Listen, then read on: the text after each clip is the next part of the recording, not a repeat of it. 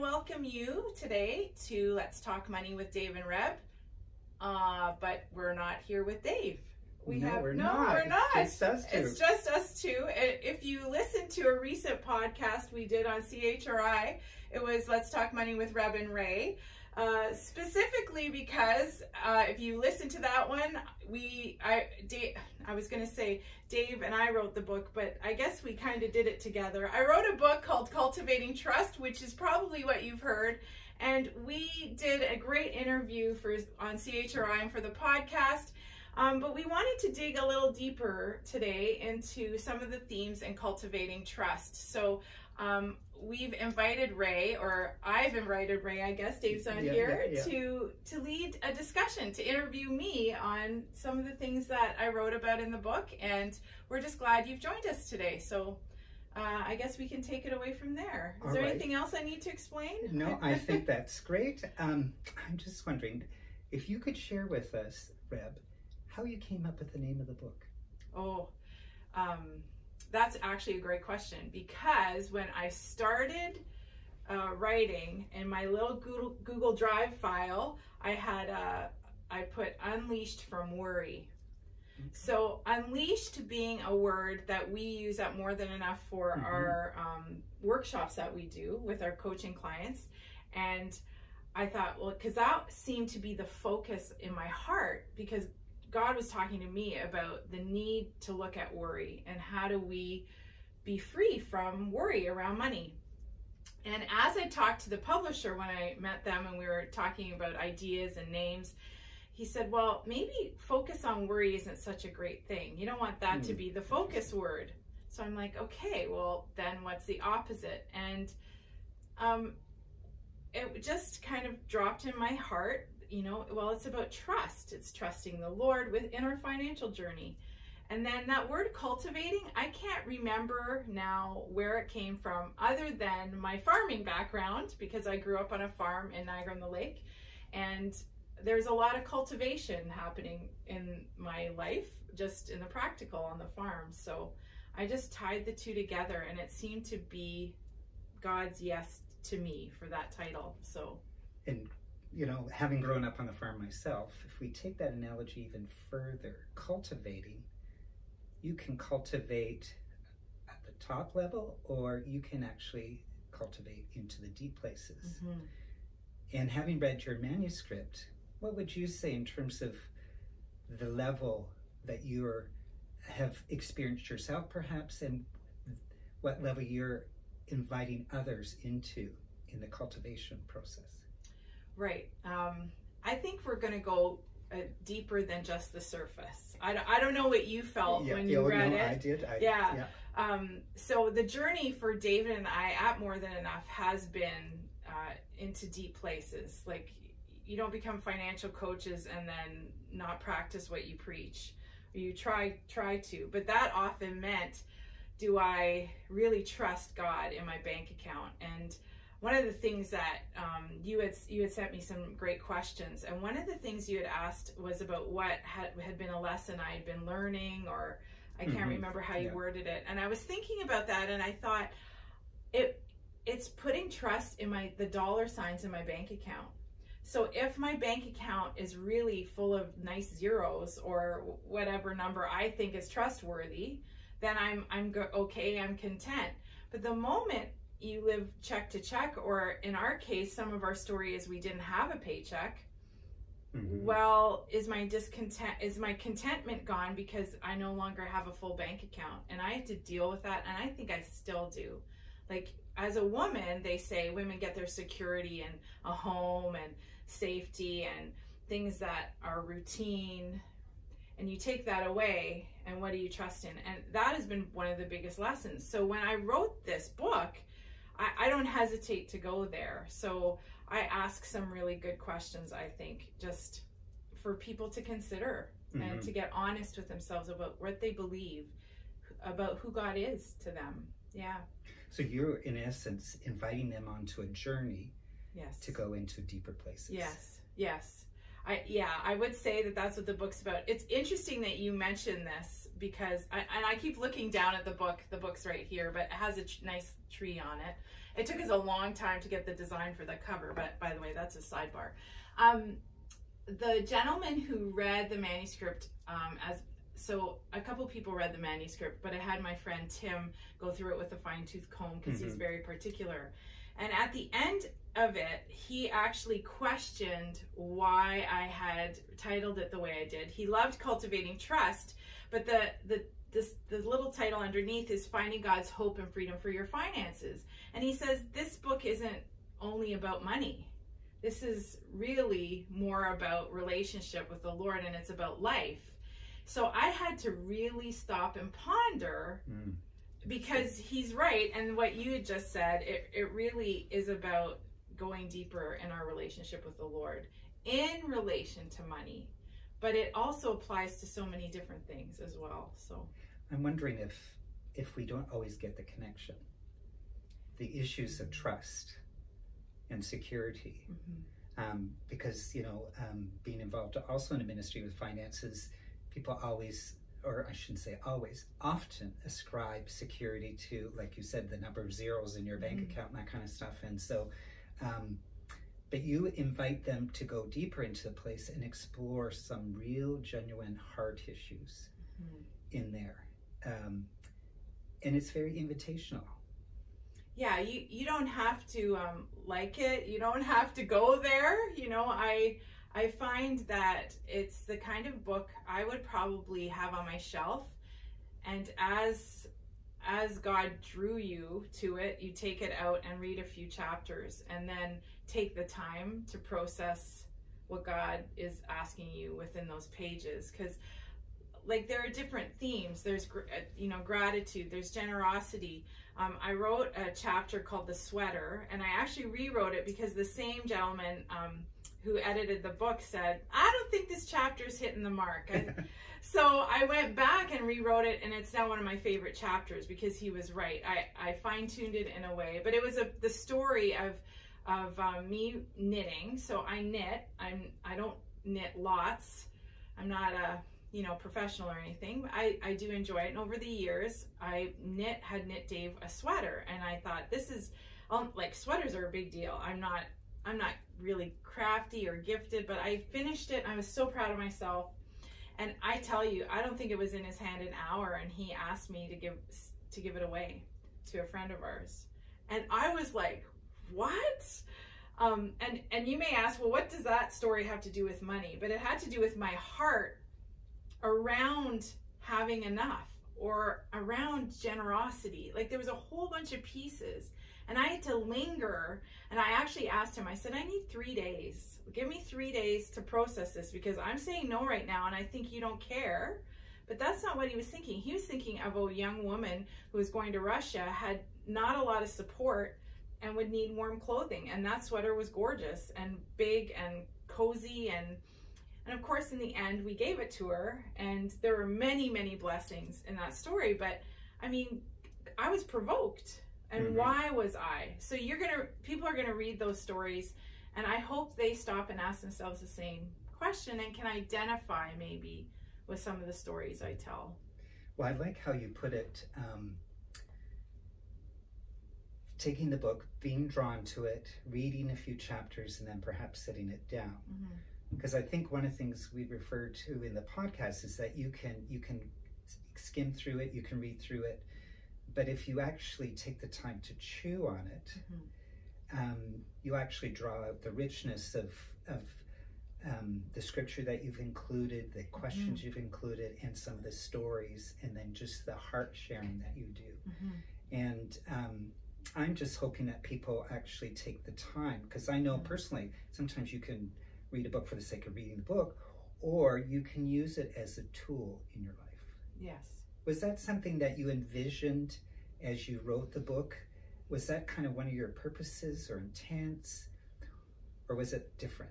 No, I, you know, it kind of unfolded before me um, because we do the practical pieces and the heart pieces. So if you the people listen to the podcast, you know that we're about the heart and the money because money's a tool and there's a lot of our heart and um, perspective and our money stories that affect how we deal with money and may be the reasons why we are where we are today.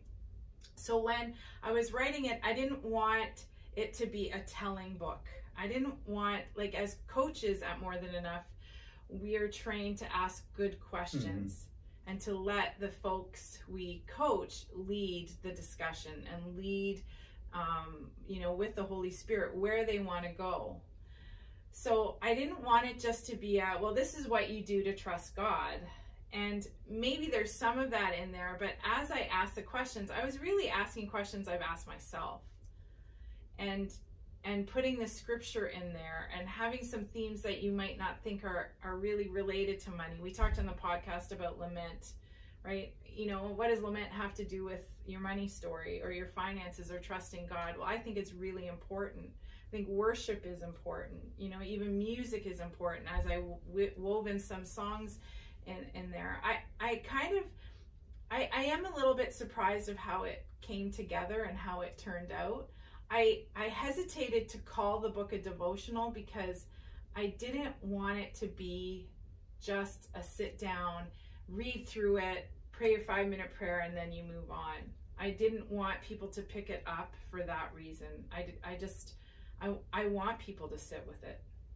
So you've been very intentional about how you um, framed it or yes. structured it or purposed in your heart to yes. actually share in the way you did with mm-hmm. it. I think so. I I think it's it's like I've said to you before. I tried to create a space where people could feel that they were sitting next to me on the couch, kind of like what we're doing, and that they would feel like um, we were just having a discussion without judgment, just asking questions.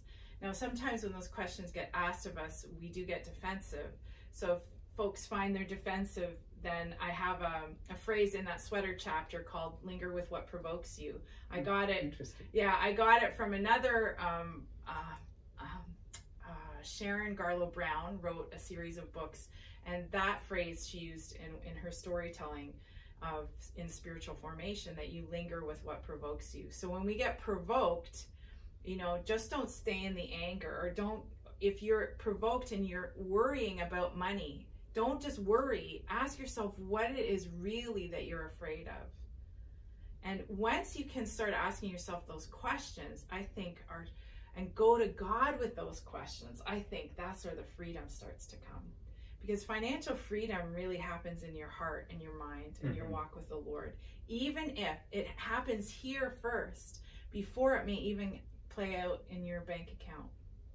I think true freedom because I also think that people can have no debt and still be enslaved to money. So, yes, but that's, that's an, right. another topic. Yes, that's right. you can write that yeah, book. Yeah, there we go. yes. So, so I mean, you mentioned coaching, and mm-hmm. you've been part of coaching for a number of years, and I know that you offer the Unleashed um, course or program. I'm not sure.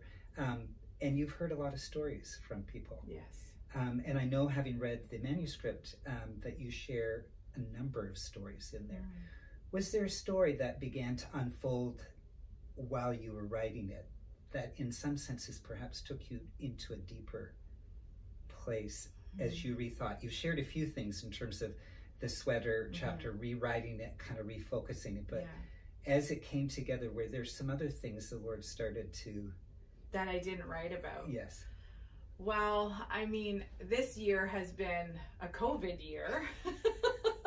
yes, it has. Need I say more? Next yeah, question. Yeah, but... um, you know, I, I kept saying to my kids, I guess I better go reread my own book because, you know, you talk about trust and yes. not worrying and and then you start worrying and then you like, you know, fear crops up and um I I I don't know what I think the Lord is just taking David and I into deeper place. Like even the fact that I've written a book and and I wanted to write a book, sure, as a as a writer, as a trained in journalism, sure that's in the back of your mind. Wouldn't that be a great thing? But to actually have it done now and now being in a totally different place, I feel like I'm I have to lean into him every day in ways I never imagined because it's all too bigger than It's all much bigger than I imagined. And sometimes people may feel that in their story. You know, there's one lady, Martin, she came to Unleashed.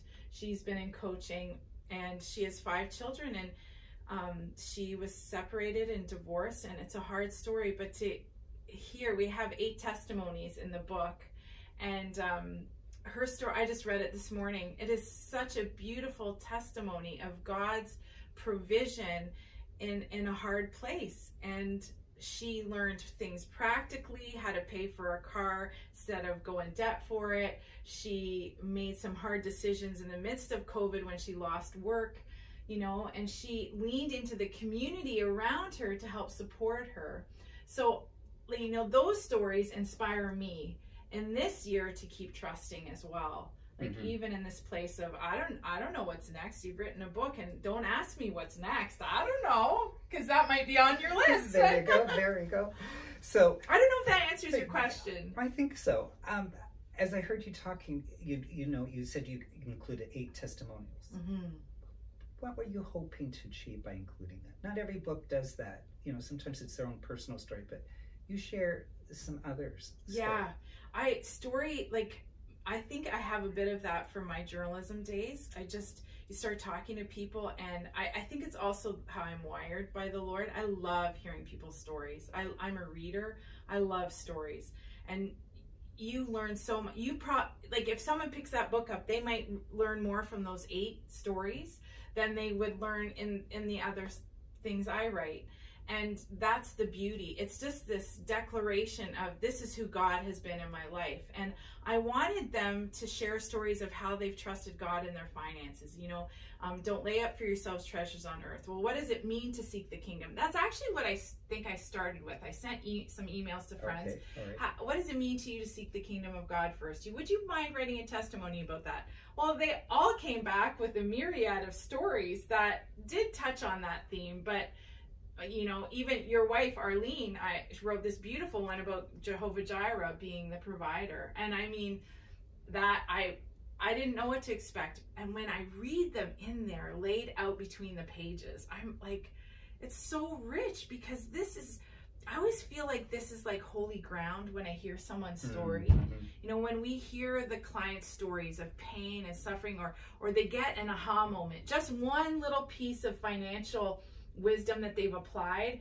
like I just feel like I have to take my shoes off because this is God doing something in people's lives that is that you could never do. Only he could do it with them.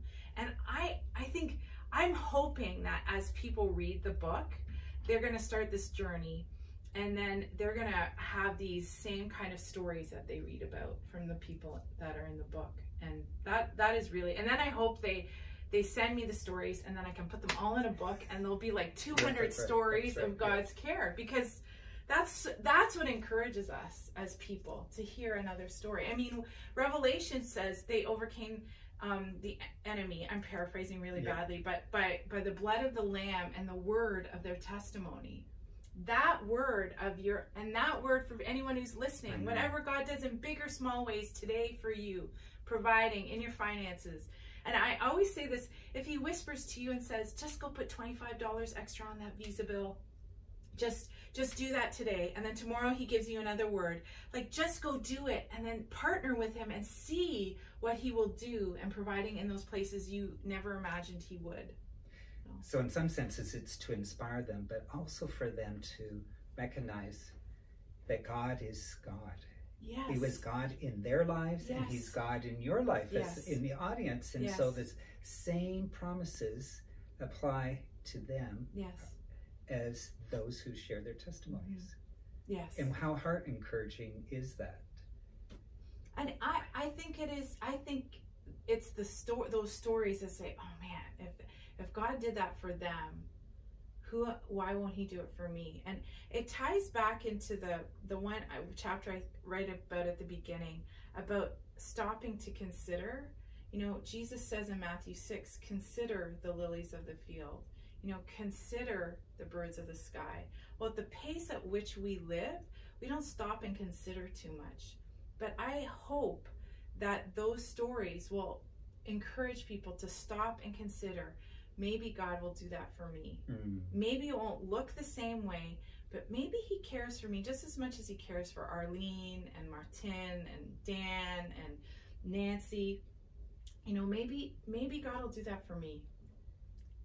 It would, Such a wonderful encouragement. it would. 'cause- and I'm and I really am serious. I like if people wrote me their stories, I I would put them in a book. Like that would be that could be cultivating trust, you know, stories. yes, because- yes. That would be amazing. To you know, it's not it's not me or you doing it, even though we've been called to this place. It's God doing it. Sure is. It's wonderful to hear those stories and uh, see God's faithfulness. And, Yeah. And uh, one of the things that you talk about, in some senses, are some of the characteristics of who Father is in light of our own journeys of faith and area finances. As you reflect on the book and some of it, what was there any one aspect of Father's character that really struck you or um, um, impacted you? Or just several, because I think some of your titles of your chapters kind of touch it. Yeah, I I was thinking about that this morning and actually when we recorded the podcast, what jumped out at me, which I hadn't considered, I can't remember what you had asked me on there, but was it was a similar question. But then I was thinking Jesus was the one to tie together money and the character of God. And what was he tying together? That he cares that he is with us that you know consider the lilies of the field. They don't toil or spin. You know the birds don't store and store up in barns but yet the father cares for them you know and how much more will he care for you? And scripture says he knows our needs before we ask him. So um the fact that he cares and that he's loving and he's a father um I, I just and it was profound to me. It, it hit me when we did the podcast that jesus had already connected the two. Mm-hmm. he connects he connects our relationship with god and money. And he does it in a profound way. And i'm like ah i need another chapter. I didn't write that chapter. Um, because it it's been it's just stuck with me ever since we've done that that recording. Um, so that he's a god who cares because i think that's what's at risk we don't believe he's good. We don't know because and you're right I, I guess you remind me i have in some of the sections at the end of the chapters i have this word called cultivating communion. And it's communion because communion is an ongoing thing. It's an, a minute by minute Mm-hmm. relationship with the lord. And we cultivate it because it's intentional. It's it's digging. It's intentionally thinking about the lord. And in some of those chapters i leave the character qualities of god in there for people to look at and say do i really believe that do i really believe he's good because if i don't believe he's good i'm not going to tr- put my hand in his mm-hmm. and, and trust him and we need I, I just feel more and more convicted. We need to know who he is and who he what he says about himself to really grasp a, grab a hold of of what he has for us. You know, when you said that on the podcast, I was really struck about that, about Jesus connecting the two. And I thought, what a profound statement, because I think sometimes, um, perhaps even consciously or unconsciously, we consider God holy and money almost profane. You know, we, we, Right, we, right. we separate the two and not Yeah. recognizing that Jesus does the connect he for does. I know. and he doesn't look at it from that way. No. It's a means to advance the kingdom, be a Mhm. part of what he's doing. Mhm. And so, as you commented about that, I thought, Lord, yes, that's a wonderful way. You use the common issues of life Mhm. and you do the bridging, you do Yeah. the connecting. And I until that I don't even know what you had asked me, but I'm like, wow, you did the I don't I didn't do the connecting. You did it first. And you had me go to Matthew 6 because you want, and here I get it a, a, year later and the thing's published and I get, oh, well, that's what you were doing. You were making the connection. Yes. And here I've been trying to do that in, in my own stories. And anyway, it's, it's, I just love how Jesus does that. Like, I think he's laughing at me, not at me, but you know, he's chuckling. Yeah, yeah. yeah. Right, right, I, I, just right. withheld that one from you till today. Thank yeah. you, thank yes, you, Lord. Yes. But I do think you do do that connection, yeah, and in yeah. some wonderful, relatable mm-hmm. ways. And I thank think you. that was the part that struck me in reading the book is uh, it's like you and I sitting uh, across from each other and dialoguing. You you just open your heart and you just begin to share. Mm-hmm. You share some of your stories. You share some of your insights. Um, and I think that's what others will be, and I'm hoping you guys will all glean as you read through it, as I did. I was impacted by those stories. And um, a book that challenged, but it connected the issues um, but left me with something to process. Mm-hmm. So I mm-hmm. like your your your comment there about um, linger when provoked, yeah. rather than um, resisting or avoiding, mm-hmm. which I think we often do. Yes, but it's actually embracing it mm-hmm. and um, chewing on it, mm-hmm. meditating on it, mm-hmm. uh, lingering, as you said. So um, I think you are inviting people. Uh, into that place, and I think it's a wonderful place for people to do who will seize that moment in doing that. So. Yeah, and that's what I'm hoping because normally uh, I, I never finished the story why we kept finding God's hope and freedom for your finances. Um, I actually went to my coach. I have a coach who's coached me through the writing process, and uh, we actually the day that my the my editor friend had said, I, I you might consider not putting that as the tagline. So I said, okay, why don't uh, like I don't know. I'll, let me think about it. I didn't know what to. So I went. I talked to Dave a bit about it. We didn't have time, and then my I had a call with the coach, and she said, "Okay, let's tackle this." And then she just asked me some great questions, one after the other, to ponder and think about. And in the end, I realized I had written it for folks who struggle financially. I was writing it for our clients. I, I want people to see that money and and the Lord are so connected and it can be good mm-hmm. and it can be a means and a doorway into deeper relationship and that's why we kept it so i think people might be surprised when they pick it up and are looking for a financial book and they're going to be I, I think I, am hoping it surprises them. Mm-hmm. I, I hope they don't take it like a devotional that they're just gonna like a bag of chips they're just gonna quickly inhale and walk away. I really I hope they treat it like it's a meal um, and maybe ask the Lord to show them things they haven't yet seen. Mm-hmm. Yeah, it's not a how-to book. No, no, it isn't. It isn't. No. And, and so I think that's wonderful because it, it takes people on their own journey yes. to the degree they want to go into that place. Because I think David and I, one of our intentional things that we've said is we don't have the answers, but we know the one who has your mm. answer. Yes and we don't have it perfect. I don't trust God perfectly. I say that clearly in the introduction in the beginning of the book. Like the irony of all of it is I've been more prone to worry this year because of COVID and, and the place in life and the busyness. And here I'm writing a book about it. Well, it's because he's teaching me still. And I, I hope that, that people will see that, that it's a journey, like you've already said. It's mm-hmm. a daily journey and I, I hope um, those listening um, actually will um, be interested in something because uh, in something so authentic because you really share your heart in the book. Yeah, I'm a little nervous about that too.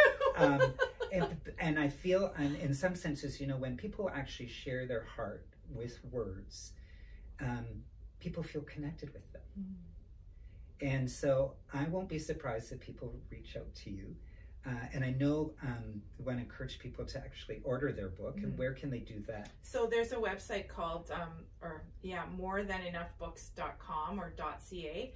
Um, it's just we did it as a tagline with our biz- business, More Than Enough. And um, but we, you can contact me at info at morethanenough.ca. Email me if you want a copy. If you order through the website, you'll get an ebook and the book um, mailed to you. But um, if you're local in the Ottawa area, um, we can figure out. You can come to the office and pick up a copy if you want. So, and maybe um, you know we have friends at One Way Ministries. Maybe we can have some here too. We'll we'll figure it out.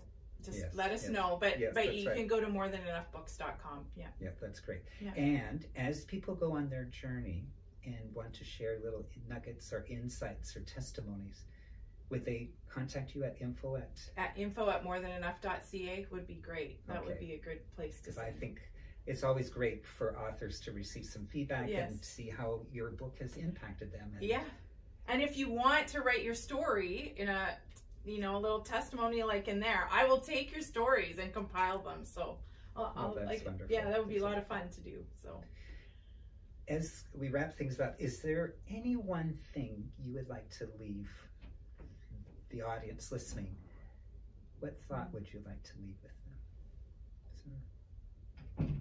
There- if you're worried, if you're afraid, um, if you find you can't trust God because of the circumstances of your life, then I would, I would say gently, then just tell him that. Tell him you can't trust him. Tell him it's been hard. Pour it out to him and see how he will come in and answer you because he will and he likes an honest, vulnerable transparency. And when it comes to your money, that's hard to do because we're full of shame and embarrassment about it sometimes. But I think it's, um, I, I wouldn't say, you know, the Bible says we shouldn't test God in all these things, but I would lay it out to Him and ask Him and cry to Him. Tell Him you don't believe. Tell Him you're not trusting. Tell Him you're tired of worrying. Just tell Him, be honest about it, and see, uh, see what happens uh, and how He'll provide for you in that space. Thank you, Brett. Those are some wonderful words to leave with the Yeah. audience today. Great. Thanks for thanks for having me. Well, I have we, we I guess it's let's talk money. Um, you better do a show soon. I Yes, guess. that's right. That's right. Yes. um, yeah. Anyway, thank you for joining us today on Let's Talk Money with Dave and Reb, and um, we are glad you joined us. And again, reach out info at morethanenough.ca if you have any questions, or order the book morethanenough.com. Or you can go to our website, morethanenough.ca, and you'll find out all the things uh, we do at More Than Enough. Thanks for joining us.